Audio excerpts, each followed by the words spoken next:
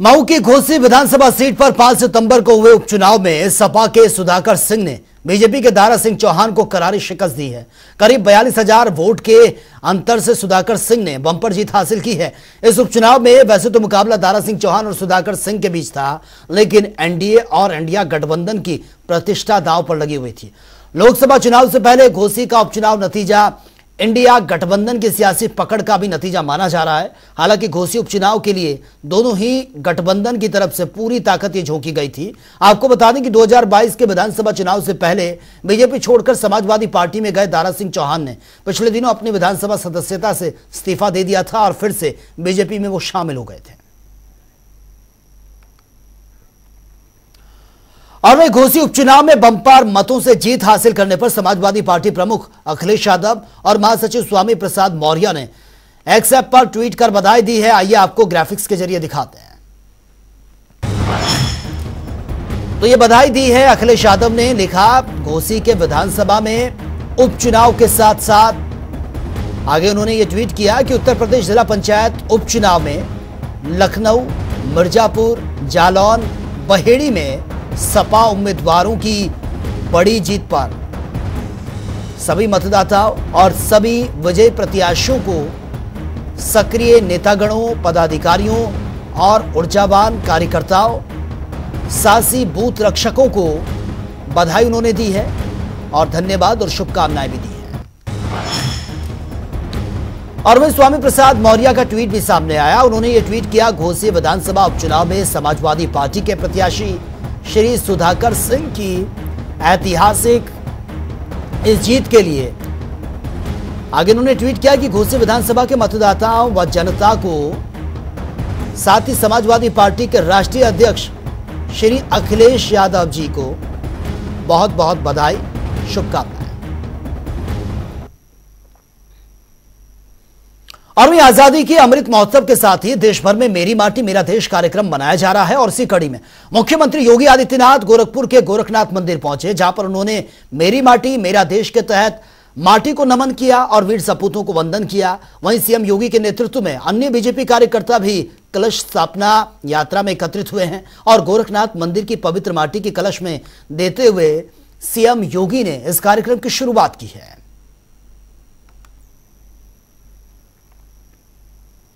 राजधानी दिल्ली में G twenty summit के लिए विदेशी मेहमानों के आने का सिलसिला शुरू हो चुका है। जापान के पीएम फूमियो किशिदा और ब्रिटेन के पीएम ऋषि सुनक दिल्ली पहुँच गए हैं। बतौर पीएम, ये उनका पहला भारत का दौरा है। इससे पहले बांग्लादेश की पीएम शेख हसीना नई दिल्ली पहुँची थी। बांग्लादेश को भारत की ओर से बतौर अतिथि जी ट्वेंटी में ये शामिल किया गया है। इसके अलावा इटली की पीएम जॉर्जिया मेलोनी और अर्जेंटीना की राष्ट्रपति अल्बर्टो फर्नांडिस दिल्ली पहुँच चुके हैं। वहीं अमेरिकी राष्ट्रपति जो बाइडेन भी दिल्ली पहुँच चुके हैं।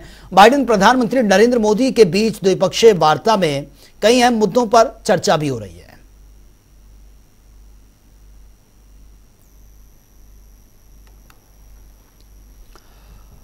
और भारत इस समय अपने विदेशी मेहमानों के लिए सज धज कर तैयार है। मेहमान के लिए शाही अंदाज में चांदी से बने हुए खास बर्तनों में खाना यह परोसा जा रहा है। और अब इसे लेकर विवाद भी छिड़ गया। सपा नेता स्वामी प्रसाद मौर्य ने मोदी सरकार पर निशाना साधा। स्वामी प्रसाद ने कहा कि जिस थाली में भारत के राष्ट्रीय प्रतीक हैं, अशोक स्तंभ उकेरी गई है, उसी में दुनिया भर से आए जी ट्वेंटी के मेहमानों को खाना खिलाया जाएगा। इसमें वो जूठन छोड़ेंगे। उन्होंने यह भी कहा कि राष्ट्रीय प्रतीक अशोक स्तंभ के साथ ऐसा भद्दा मज़ाक करके। मोदी सरकार ने देश की इज़्ज़त और मर्यादा को मिट्टी में मिलाने का काम किया है।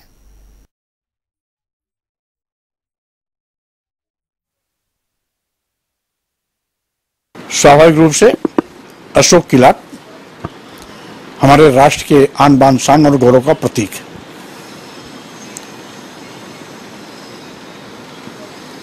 राष्ट्रीय प्रतीक अशोक की लाट उकेरी गई थाली में विदेशी मेहमानों का खाना खिलाना, उसमें उनका जूठन गिरना ये राष्ट्रीय प्रतीक का अपमान है, भारत का अपमान है और देश के 140 करोड़ जनता का अपमान है। इसलिए सम्मान में आगर स्वागत में बढ़ चढ़कर के केंद्र की सरकार हिस्सा ले, हमें कोई इतराज नहीं। लेकिन राष्ट्रीय प्रतीक अशोक की लाट के साथ इस प्रकार का बदला मज़ाक करना, राष्ट्र के गौरव को जूठन के तले दबाना हम समझते हैं, ये बहुत बड़ा राष्ट्रीय प्रतीक का अपमान है, राष्ट्र का अपमान है। और साथ ही साथ इससे ज़्यादा भद्दा मिला कुछ और नहीं हो सकता है।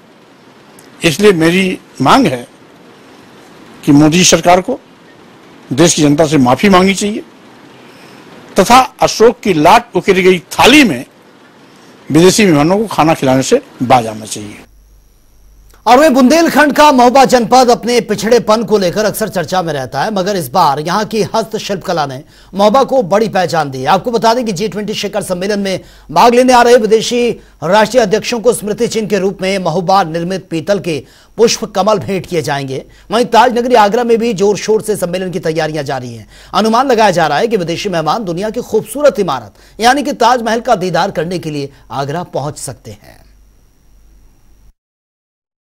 मेटल क्राफ्ट का है।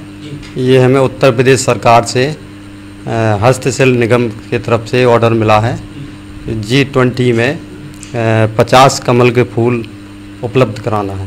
ये हमारे बुंदेलखंड का सौभाग्य है, जो हमें ये इस कमल का, कमल कृति बनाने का अवसर प्राप्त हुआ है। बहुत बड़ी खुशी की बात है, जो हमारा, हमारी कलाकृति को एक चयन करके, चयन किया है बुंदेलखंड से। तो ये हमें बहुत बड़ी खुशी हुई है कि 20 देश के राष्ट्रपति आ रहे हैं। तो हमें बहुत अच्छा लगा। है भारत जोड़ो यात्रा का एक साल पूरा होने पर पूर्व विदेश मंत्री सलमान खुर्शीद ने पद यात्रा निकाली है इस दौरान। पूर्व विदेश मंत्री सलमान खुर्शीद ने जी ट्वेंटी के आयोजन पर गंभीर सवाल भी उठाए। वहीं उन्होंने वन नेशन, वन इलेक्शन को लेकर भी कई सवाल उठाए हैं। इसके अलावा उन्होंने भारत और इंडिया पर हो रही बहस को लेकर बीजेपी को जमकर घेरा भी है। ये कि सौभाग्य है कि हम राहुल गांधी जी के यात्रा के संदर्भ में हमें कहा गया कि आप पैदल चलकर उस यात्रा को समर्थन दें। एक वर्ष हुआ है यात्रा को। यात्रा आरंभ हुई थी, कन्याकुमारी से कश्मीर तक, उस यात्रा को समर्थन और उसको मज़बूत संकल्प में परिवर्तित करें तो आज हमने वो ही वो ही मानिए लक्ष्य पूरा किया है। हम से वकीलों को ये बात समझ में नहीं आ रही कि one nation one nation one election कैसे करें अभी उत्तर प्रदेश के चुनाव हुए कुछ ही कुछ ही दिन हुए हिमाचल के चुनाव हुए कुछ ही दिन हुए कर्नाटक के चुनाव हुए कुछ ही दिन हुए तो वहाँ पर क्या होगा क्या वहाँ पर चुनाव होगा? जब भी सरकार किसी किसी भी कारण गिरती है तो एक सरकार की गिरने पर पूरे देश में फिर से चुनाव होगा। ये सारी बात समझाएँगे का शब्द made in India digital India startup India ये नाम किसने दिए रिज़र्व बैंक आप अपने रुकों को देखें। रिज़र्व बैंक ऑफ़ इंडिया मैं जहाँ प्रैक्टिस करता हूँ, वहाँ सुप्रीम कोर्ट ऑफ़ इंडिया है। आज तक मैंने सुप्रीम कोर्ट ऑफ़ भारत नहीं सुना। लेकिन हो सकता है कल सुप्रीम कोर्ट में ये फैसला हो कि हमें सुप्रीम कोर्ट ऑफ़ भारत कहा जाए, भारत इंडिया कहा जाए, जो भी होगा, वो हमें स्वीकार है। और वहीं प्रयागराज के भारतीय सूचना प्रौद्योगिक संस्थान में कल 18वें दीक्षांत समारोह का आयोजन यहाँ पर होने जा रहा है। इस दौरान 615 छात्र छात्राओं को उपाधियाँ प्रदान की जाएँगी, साथ ही 28 मेधावी छात्र छात्राओं को मेडल देकर सम्मानित भी किया जाएगा। ट्रिपल आईटी के इस 18वें दीक्षांत समारोह में भारतीय आईटी के बड़े बड़े दिग्गज भी इसमें शामिल होंगे। ये अठारहवा दीक्षांत समारोह है। ट्रिपल आई इलाहाबाद इस संस्थान का और उसमें in all this year 615 615 students को, छात्रों को इस दीक्षांत समारोह में दीक्षा दी जाएगी। इन्हें डिग्रीज कॉन्फर की जाएगी। जिनमें से 387 387 जो है, वो अंडर ग्रेजुएट डिग्रीज है और 206 206 पोस्ट ग्रेजुएट डिग्रीज है। और इसमें 14 14 पीएचडी डिग्रीज है। तो इन ऑल 615 है। इनमें से लड़कियों की संख्या लेकिन थोड़ी कम है इन तीनों प्रोग्राम्स में। और इस दीक्षांत समारोह के लिए हमें मुख्य अतिथि गेस्ट ऑफ़ ऑनर के रूप में नेस्कॉम नेस्कॉम जो है, सारे आईटी कंपनीज़ का इंडिया में जो एक बहुत बड़ा संगठन है, उसके फाउंडर चेयरमैन जो है, श्री हरीश मेहता जी, जिनकी खुद की ऑनवर्ड टेक्नोलॉजीज़ नाम की कंपनी है, उसके वो चेयरमैन उसके भी है, वो हमें सौभाग्यवश इस, इसके लिए, इस समारोह के समारोह के लिए चीफ मुख्य अतिथि के रूप में वो हमें मिले हैं।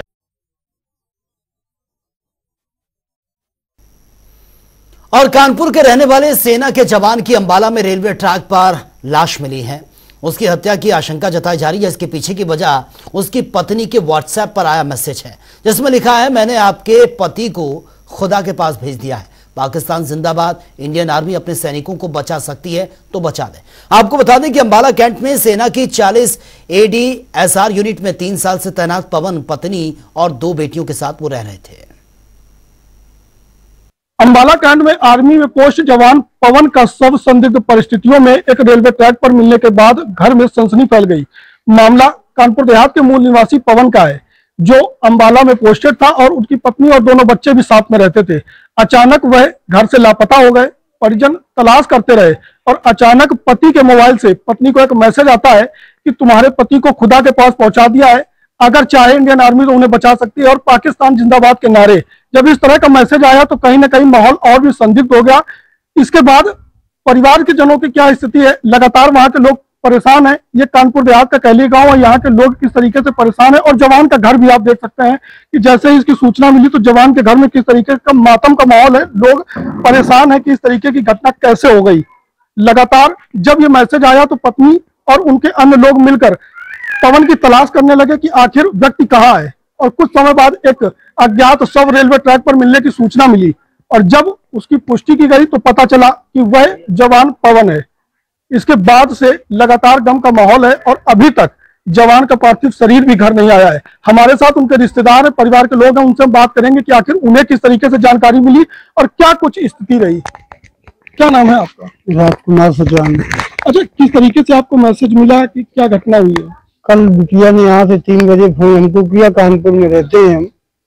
क्योंकि वो नौसा जी फ़ोन भैया का पता नहीं है, और ऐसा ऐसा बता रहे हैं, वहाँ रात में दो बजे यहाँ घर में फ़ोन आया था। तो हमने कहा बिटिया किसी फ़ोन आया तो बताया, एक अधिकारी का फ़ोन आया था, वो अधिकारी का नाम बिटिया ने दिया जो है, उस नंबर पे हमने बात किया तो बात करने पर हमसे बोले कि अभी हम आपको पंद्रह मिनट में बता रहे हैं। उसके बाद हमने पुनः फ़ोन किया तो उन्होंने बताया कि नहीं, यहाँ वो सर उनका मिल गया है, और वो पवन का ही शव है शनाख्त हो चुकी है।